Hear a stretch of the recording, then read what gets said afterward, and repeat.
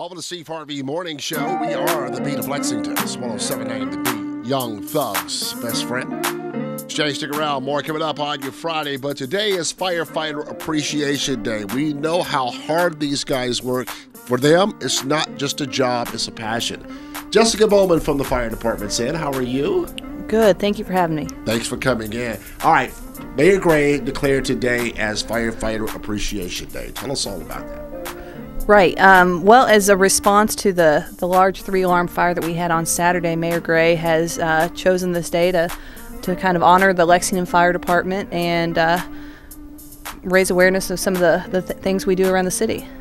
Not, not, a lot, not a lot of people know exactly what you guys do, but this is more than a job. It's a passion for somebody who gets into the fire department. What made you want to become a fireman?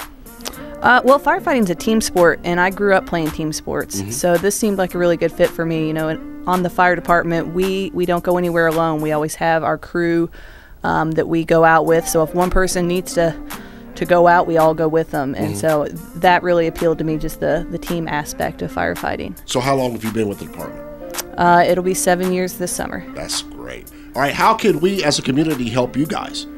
Well, I don't. I don't think there's a thing I could ask for that you, the community, hasn't already done for us. Um, the community has always been very supportive of the fire department, and this past week has been no exception. Um, there has been a tremendous amount of support. Um, every day we get emails from people thanking us. Um, even as I was driving in this morning to meet with you guys, uh, there were people on the street waving at my car, thanking me. Um, restaurants giving us meals, lunches, and dinners. Uh, there's been a lot of businesses, including uh, you all bringing out donuts for us in the morning. I mean, th- there's really we couldn't ask for anything more.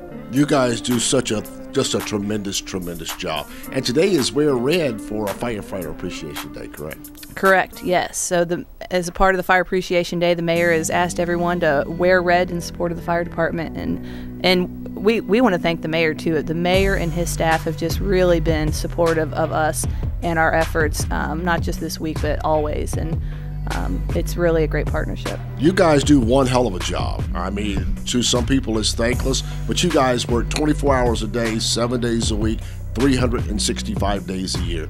Pick up the phone, you guys will be there. And I just want to say thank you, thank you, thank you for the guys' job you guys do. Thank you.